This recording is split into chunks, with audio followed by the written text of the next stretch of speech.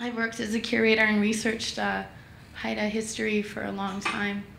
And our history is amazing. We're an amazing group of people. The entire Northwest Coast is comprised of amazing nations. And, um, and I've done a lot of repatriation efforts with the Haida. So we've gone to repatriate ancestors from museums. And um, that's a real profound experience because when you actually take your ancestors' remains from these boxes and weird places, it really impacts you and makes you wonder why they were there in the first place. And so I wanted to talk about that because we went to England in 2009 and we saw the most spectacular box we'd ever seen. There was carvers there and uh, some of our young carvers from Haida Gwaii flew over and replicated this box. So I wanted to take a bit of that box because it's such an ancestral masterpiece and included in my work.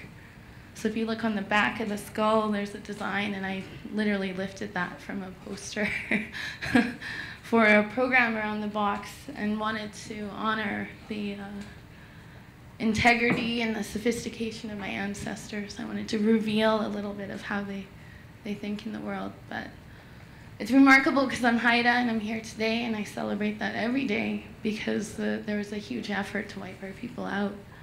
And our people went from 30,000 strong and after three waves of smallpox in the 1860s, there was 589 Haida left by 1914.